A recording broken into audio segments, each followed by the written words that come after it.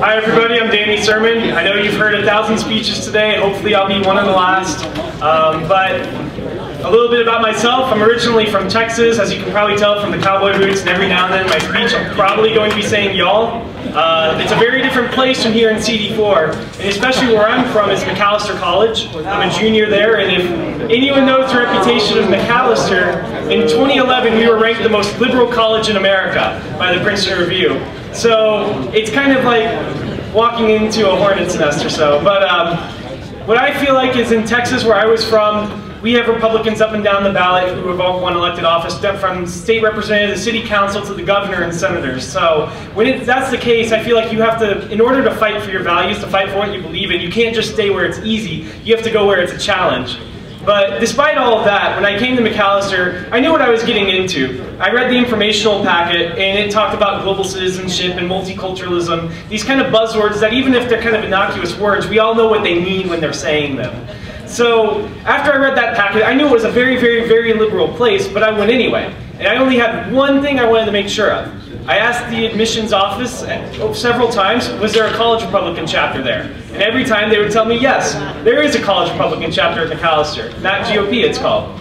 Well, I got there, talked to my orientation leader, and was enthusiastic freshman, asked him, when's the next college Republican meeting? He gave me a quizzical look and told me, well, the girl who runs it, she's a senior who's writing an honors thesis and has two full-time jobs, and she's not holding meetings. And there are no other members besides that.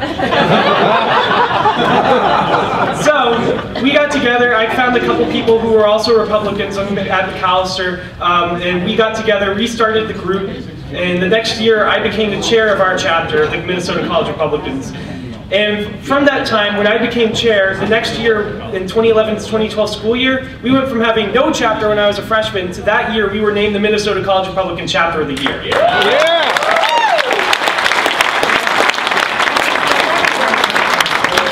And it doesn't matter where you're at to be able to do the things we did at Macalester.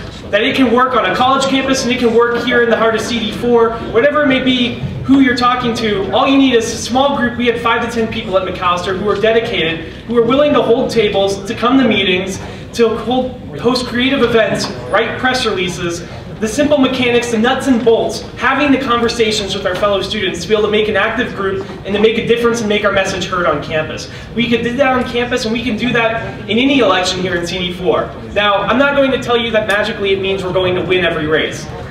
You know, people, it's hard to change people's minds, and that's just how it is. But we can make a difference on the margins.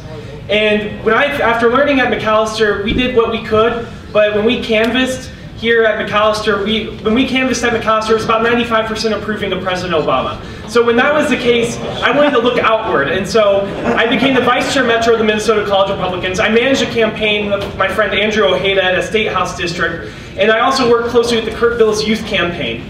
So when we did all of that, I learned a few different things. And the big thing was that you have to bother to have the conversations with people. I'm running for chairman of the Minnesota College Republicans in order to have those conversations with my fellow students. My job is to be able to have those conversations with people, to mobilize the students to do it, and to get the institutional resources to do it. And when we're going to do all that, I have one thing, that's the job of us college students to do. But to all of our candidates out there, to all of our activists out there, all I can say is, Make sure you're also having the conversations with us young people. We're young and naive, we have a lot to learn, but give us a chance and we'll try to listen to you. So again, my name's Danny Surman. Feel free to talk to me afterward and have a great convention, guys.